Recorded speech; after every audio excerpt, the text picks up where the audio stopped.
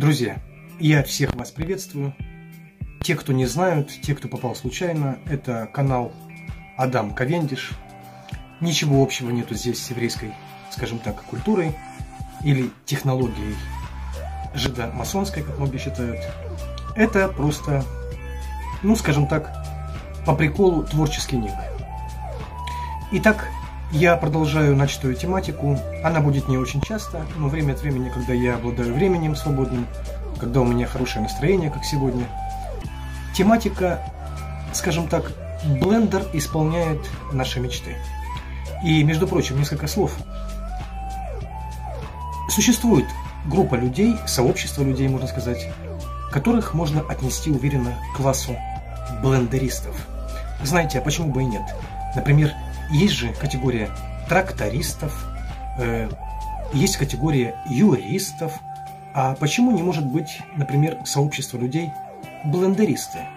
То есть это люди, которые, в принципе, ну, то, что они творческие, это бессомненно. Это раз. Во-вторых, они ленивые на глупости.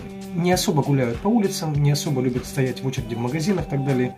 Они свободное время Разумеется, именно свободное время, потому что все зарабатывают кусок хлеба, всем надо как-то жить, крутить хвостом.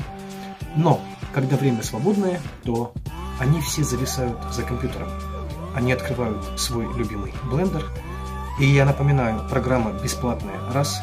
Программа с прекрасными обновлениями, которая уже прошла и до сих пор обновляется – это два.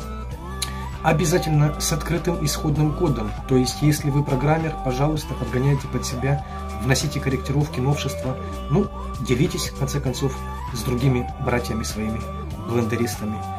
То есть здесь я поэтому и говорю, что реализуются и исполняются ваши мечты. Сегодня маленькая такая тема затронутая – это анимация танцующей девчоночки. Такая, знаете, своеобразная girlfriend. И фишка в том, что Понятно, что я не открываю новых технологий, потому что, в принципе, они всегда разные. Есть и стандартные, а есть и вечные новшества, изменения. Но надо понимать, что когда мы хотим какую-то сцену построить, что-нибудь создать, что-нибудь такое, знаете, симпровизировать, то никогда, например, не надо поступать к этому по-идиотски, по-дурацки так, просто лишь бы, а-ля-а-ля. Надо, конечно же, сделать какой-то такой вот, как говорят бизнесмены, бизнес-план, то блендеристы говорят творческий, креативный, идейный план. Что это значит? Вот, например, я в своей сцене, которую я покажу чуть позже, продемонстрирую, я решил сделать танцующую девочку где-то на фоне такого, знаете, средневекового такого древнего пейзажа. То есть видны скалы, виден свет из пещеры, дальше девочка танцует, и вокруг вот эти вот башни замков, кирпичные стены, такое вот тускло, такое вот хоррорное освещение. Это все покрыто дымкой тумана, как обычно. То есть этот наш известный мист, фок, туман, это по-своему в синематике такая вот, знаете, прикольная фишечка и неотъемлемая часть, конечно же, сцены, блендерной сцены, которую мы с вами выстраиваем.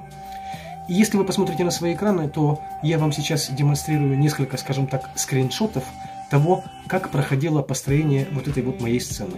А именно, мы можем видеть сейчас, что я эти скриншоты сделал для начала вам в таком, как я его называю, сыром рендере.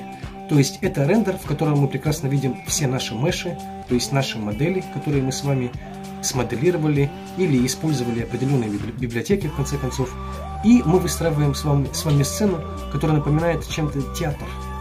Мы, можно сказать театр, по-своему кинотеатр, где мы видим, что у нас есть определенная такая вот тематика. Вот они проходят здания, вот он ландшафт, вот они горы.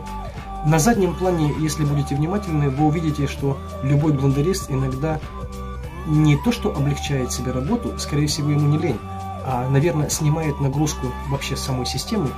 И иногда задний план, который является вторичным, второстепенным, мы не будем на него слишком сильно тратить много сил и не будем заморачиваться. Мы просто используем некоторые хорошие фотографии в высоком разрешении, например, той же пещеры, которая там где-то просвечивает солнце и проникает этот внутренний пещерный свет.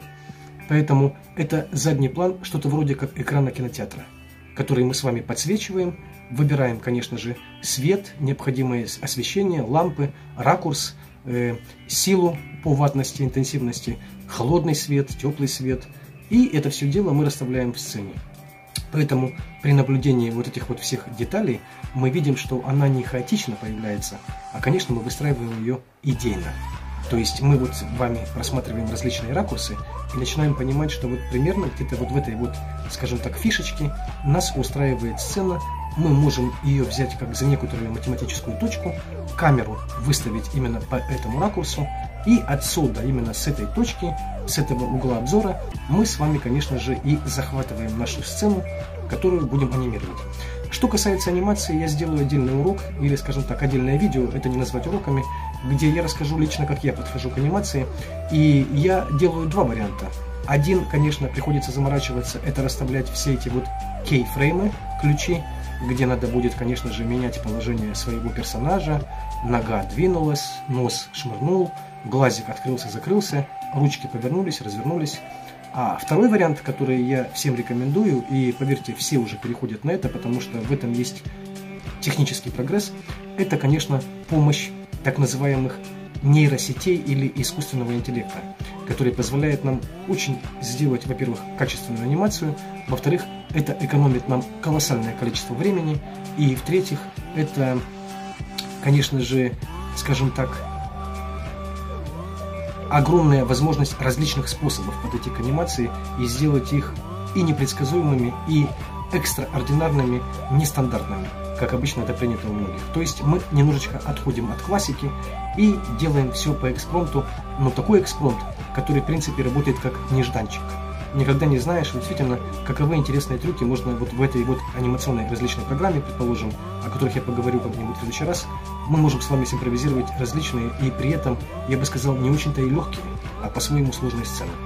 Итак, замок, как вы видите, сзади горный пейзаж такой вот определенный, свет проникает, посередине всей этой сцены находится девочка, которая будет танцевать, поэтому в конечном итоге, когда мы собрали всю эту сборку, я приглашаю ваше внимание на экран. Смотрим вот эти вот, пусть даже пару кадров, пару секунд, но все-таки завершенную, собранную сцену. Внимание на экран.